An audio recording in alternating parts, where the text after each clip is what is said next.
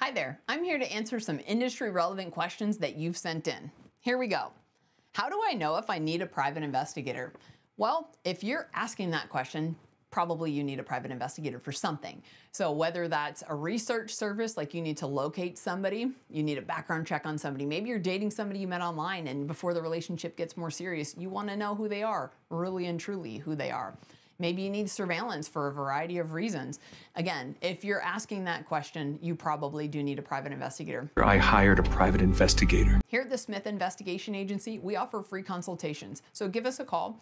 We're happy to um, answer any of your questions, or if email is preferable, then email us. Visit our website, smithinvestigationagency.com and you can fill out an inquiry form and we'll help you out, whether that's by phone or by email. Again, consultations are free.